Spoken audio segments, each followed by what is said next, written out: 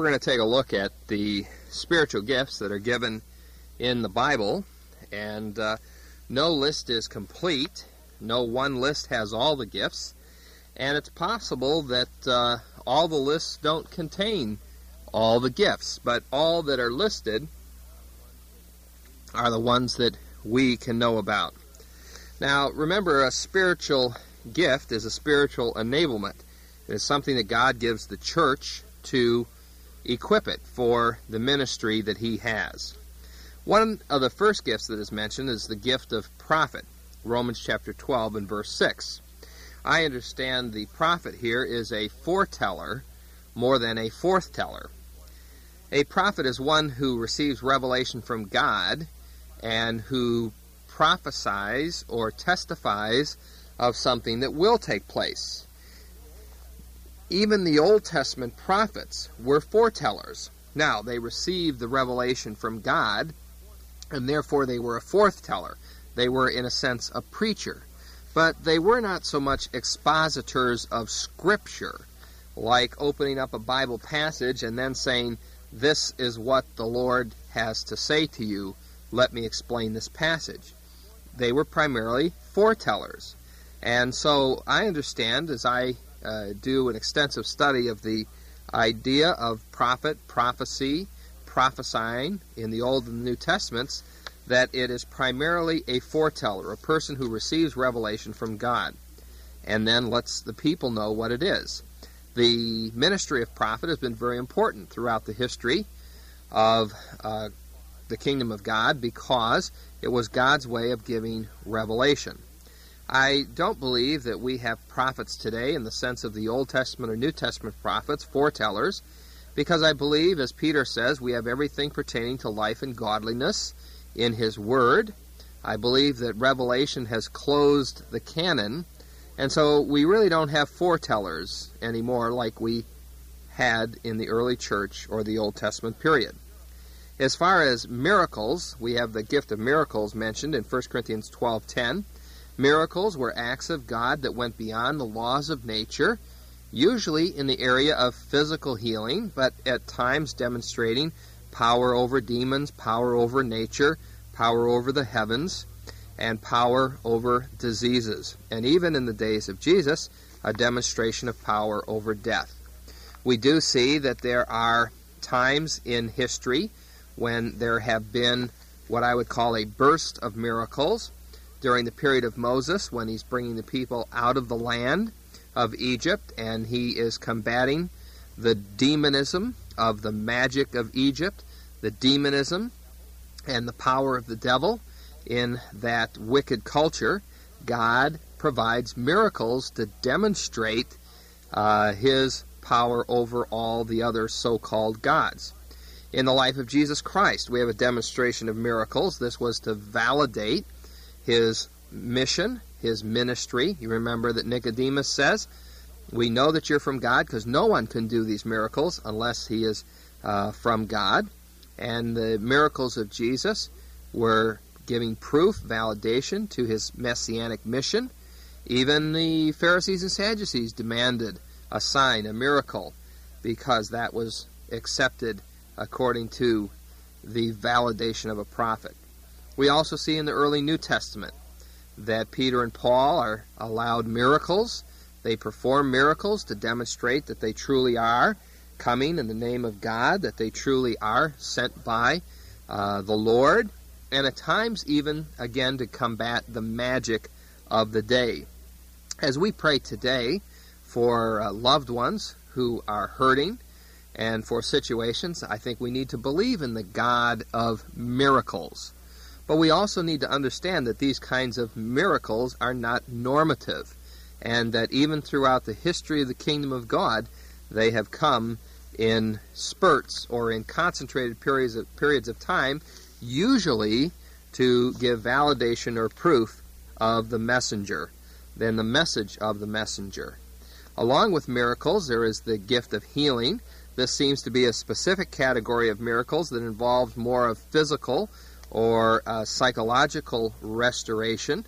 And uh, an examination of some of the New Testament examples are that usually they were instantaneous they were complete, they were permanent, and uh, that they were unconditional, that they did not necessarily depend upon the faith of the individual.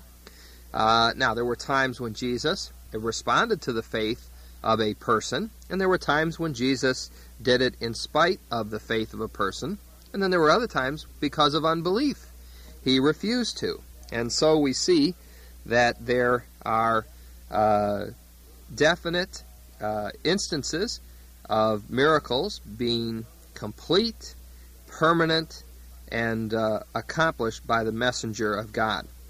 Another gift is the gift of tongues. This is mentioned in 1 Corinthians chapter 12 and verse 28. This is particularly a confusing one today for us because tongues is so much uh, uh, an experiential uh, phenomenon that is difficult for people to examine. I'd simply like to say that what we need to do in relationship to the gift of tongues is we need to examine the Scriptures and to acknowledge a few things from the Scriptures.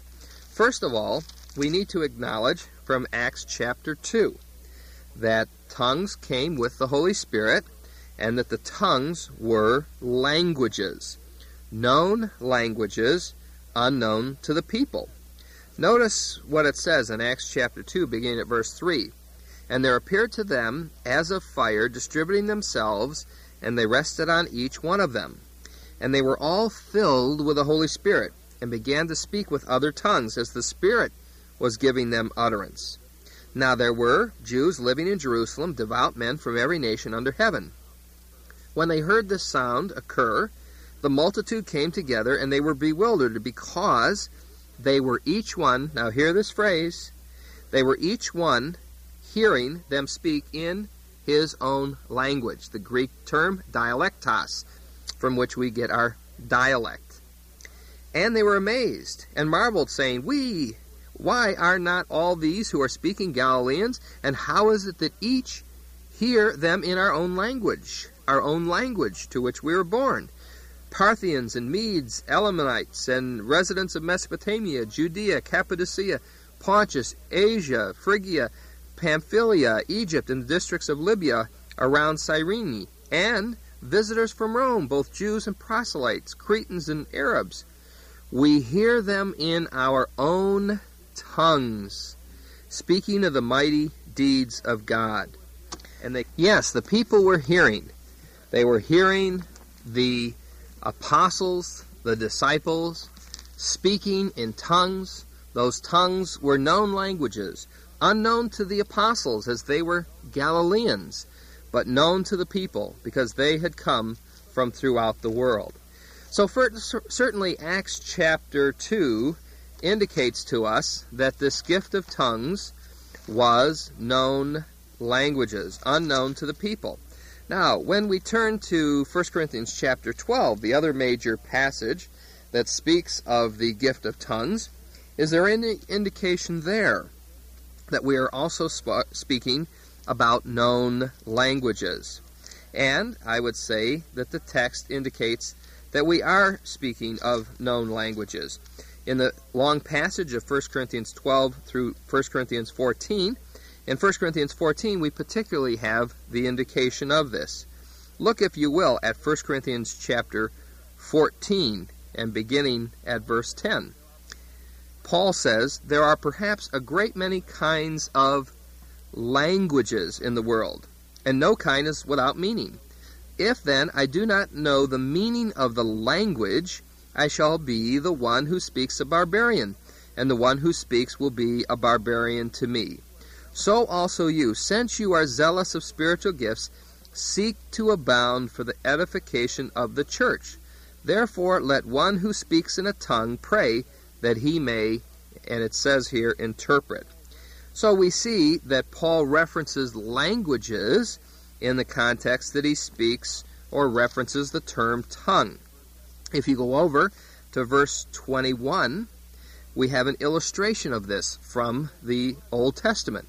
It says, In the law it is written, By men of strange tongues, and by the lips of strangers I will speak to the people. Even so, they will not listen to me, says the Lord. Well, when we look back to Isaiah 28, in which this passage is referencing, we find that the tongue there is a language, a language that was unknown to the people of Jerusalem, but it was known as a world language, as it was their enemy camped around about them. And so I think that from the Bible, any practice of tongues today should certainly be a practice of known languages. It is not gibberish, it is not mumbo jumbo, it is known languages in the Scriptures. And then the Holy Spirit also gives direction that if the biblical languages produced by the Holy Spirit are going to be said, then there is a procedure. One speaks, one interprets. Two speaks, a second interprets. Three speak, a third interprets. And the result is then there is to be silence. If we have massive amounts of people speaking in tongues all at the same time in a congregation, it seems to me logically that at most three of them could be of the Holy Spirit, because why would the Holy Spirit violate his own word or cause people to violate his word when he says one, two, and three? And another important matter for us to understand here is that each time you see the gift of interpretation, it would be better translated the gift of translation. The particular Greek there, word there actually means to translate. You see, you can interpret something without translating it. When you translate, you do interpret. So we have the gift of tongues and what really is the gift of translation. Paul, of course, exhorts us to uh, move on, to seek higher gifts, and that it is better to prophesy in intelligible words than to speak thousands in words that cannot be understood. Unfortunately, today, tongues is causing great confusion. And what we need to do is to put these issues aside and to move ahead with the greater things of the kingdom of God. If you practice tongues today, I hope they're biblical tongues, known languages. I hope you follow what the Bible says, the way they are to be exercised in public. And if you don't, then you pursue the gifts that calling that you think God has for your life. But let us move ahead as brothers and sisters in Christ, seeking to win the lost, seeking to spread the gospel. Oh, I would love for biblical tongues to be here today to put Wycliffe and New Tribes and other translators out of business by reaching people with the gospel. But until we see that, let's work together, work together to fulfill the Great Commission of discipling all nations.